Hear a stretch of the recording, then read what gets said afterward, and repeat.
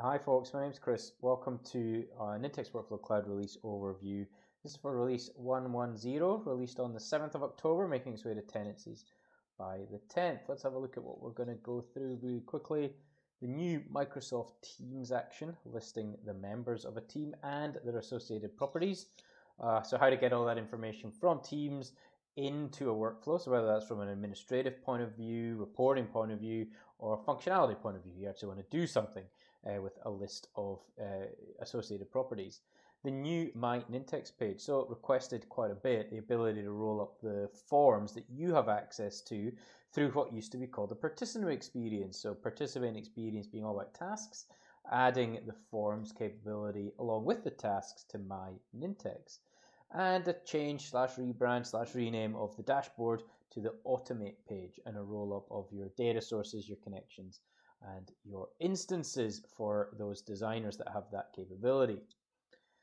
And workflow filtering. You'll now be able to workflow filter through the automate page by the start event types. Whether you're starting with a component workflow and you want to see all of them, or a form, or a SharePoint start event, or a Dynamics, or a Salesforce start event, uh, you'll be able to see that and be able to filter by that.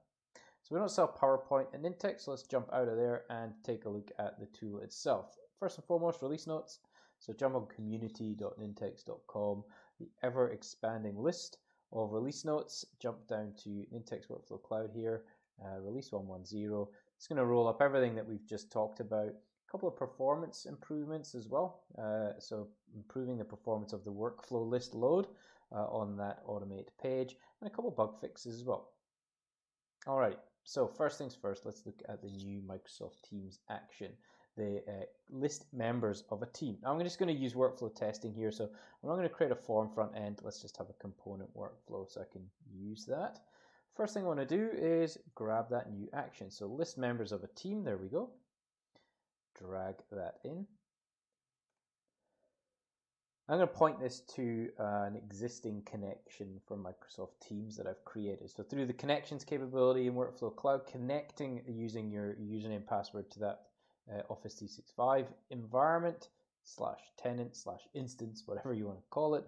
Uh, and I'm now going to be able to use these Office 365 associated actions. So the team can be variable driven. Uh, if I've got a variable declared elsewhere in the workflow, I'm going to be able to then reference that, or I can actually use it from the dropdown. So we'll pick uh, MJ's awesome team. And what's the output object? So variable I need to create for my output object. So we'll add an object and because I like to handle things in plain English, uh, it's easy to understand here. We'll go with an output called my Teams object. Alrighty, pop that in. First thing I want to do is actually make sure that this workflow is pooling a list. So if there's more than one member of a team, I actually want to know that this that I'm doing this right.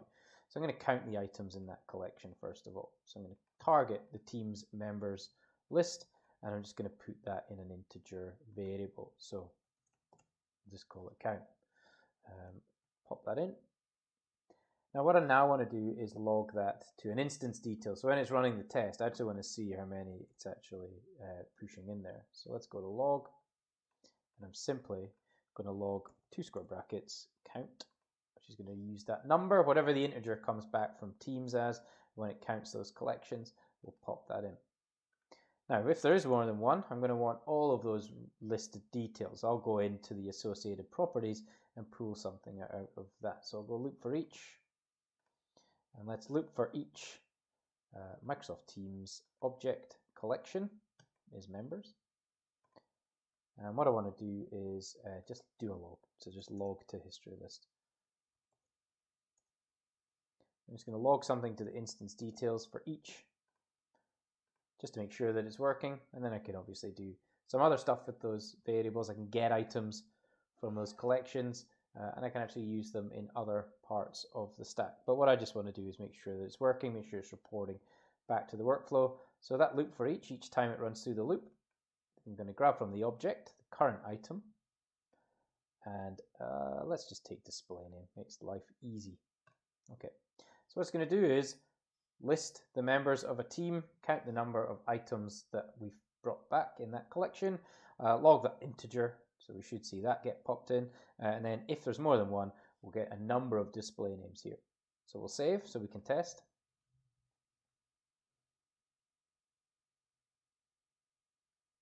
I'll call this release 101. Seems intuitive enough. 110, sorry.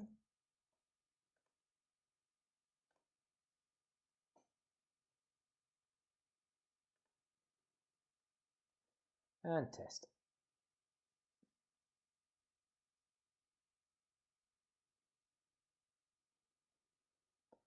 All right, because I don't have a start form uh, and I don't have any start event variables, it's just going to let me actually kick this off. I don't need any because I'm not putting any into the workflow to do anything with. Uh, but if I was, then it would allow me to free text type to, uh, to sort of simulate the start event from another system of record or from a form. So that test is now running. You'll see here it's going to do a quick refresh again in a few seconds. Uh, it's initiated that form. Now it's already done or started that first action, which was listing the members of the team. And in 10 seconds, it's finished, which is pretty quick. Uh, so list members of team executed and completed that. It counted the items in that collection and it then reported that back to workflow in my log. Two. So I should have two display names if the loop has worked correctly. So loop for each, log that to the instance. That looks like one display name and two display names. So they're the two members of my team, my MJ A team that I've asked it to pull back. So that's the new action, uh, list members in of a team. And the other thing that I wanted to show you today was the My Nintex page. So up here, top right, I might just open that in a new tab. And that's essentially going to be a roll-up of not just the tasks, as was the old participant experience, but also my forms. So any new Nintex Workflow Cloud workflow that has been created as a form front end, whether that's a, an external um, public anonymous form or an internal form that I have access to. Uh, I'm going to have access to that. Now it is uh, listed alphabetically, but if I want to promote a form to the top, I click on my little gold star. Uh, let's just refresh. it's popped up to the top. So you can uh, highlight those important forms or remove them back to just alphabetical. Cool. So there were the things I want to show you today as part of release 110 making their way to your Nintex tenant by the 10th of October. If you do not have an Nintex tenant, shame on you. Jump up to nintex.com, start free trial in the top right. Uh, it's going to ask you for some details. It's going to also confirm that you are not a robot. Uh, and then start your free trial. So we'll provision a tenancy for you, username password we sent out to you, and you can join in the fun. Thank you very much for listening. Looking forward to the next release video.